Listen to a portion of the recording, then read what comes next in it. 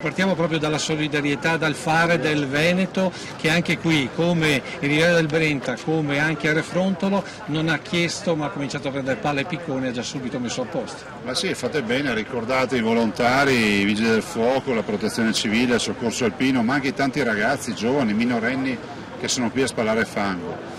È ormai uno scenario che conosciamo, che vediamo in molte occasioni ed è anche l'occasione per ringraziarli tutti. Veramente di cuore, sono questi giovani dei quali non si parla mai e penso che sia anche il caso ogni tanto di ricordarli. Ecco, chi invece non si fa sentire è Roma, eh, non arrivano i rimborsi, ne arrivano pochi, dicono che ci sono pochi soldi, sul fronte non è arrivato nulla. Sì, sulla Riviera del Brenta su 100 milioni ce ne hanno dati due e qui verranno anche qui a fare i sopralluoghi.